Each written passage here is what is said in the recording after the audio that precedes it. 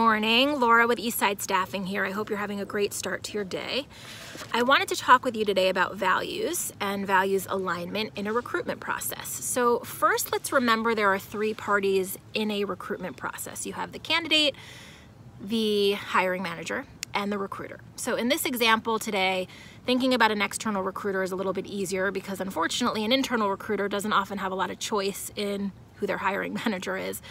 Um, we all have choices. So all three parties, candidates really need to be thinking about which recruiters they want to represent them, who they feel comfortable trusting.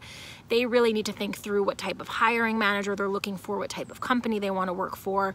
And ideally the hiring manager is really thinking through which external party they're choosing and why. So recently I had to say no, or I chose to say no to a potential search that came my way because it was so clear that it was a values misalignment, not only for me, but also for the candidates that I represent.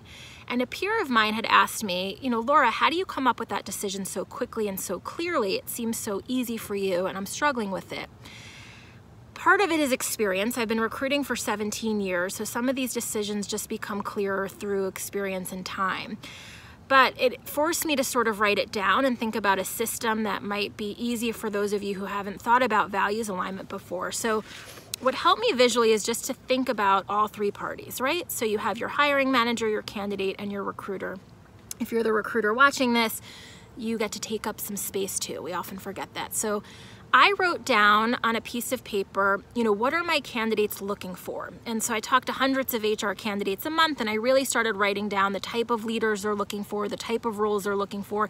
And there are very much common themes around what an HR candidate wants in today's market. And then I wrote down, what do I want to work with, right? So what, what's important to me? What makes me feel good as a recruiter, where do I feel I'm adding value, where do I feel I'm respected, and then I wrote down what hiring managers are looking for. So do they want a recruiter that partners with them, or are they just looking for somebody to fling resumes their way? Do they want to learn and get introspective and really understand how to hire better, or are they just looking to fill something really quickly and without a lot of thought? And so what I learned in doing this exercise is there's no judgment. There are lots of different ways that people feel makes a good recruitment process. There's no right or wrong. I just am really clear on what works for me. Um, you'll find my values on eastsidestaffing.com. And, and, you know, there are candidates in HR that, of course, want, uh, you know, for example, most of my candidates really want to work in a progressive environment with a leader who invests in HR, who invests in people and culture, who is focused on diversity, equity, inclusion, and belonging but surely there are HR pros where none of that matters. The thing is just recognizing like who you want to be and what you want to work with and alongside. So thinking about your values alignment is not a bad exercise. In fact, I think it'll be really helpful for you to be clear on what you need and want next. You'll be able to say no with a little bit more confidence.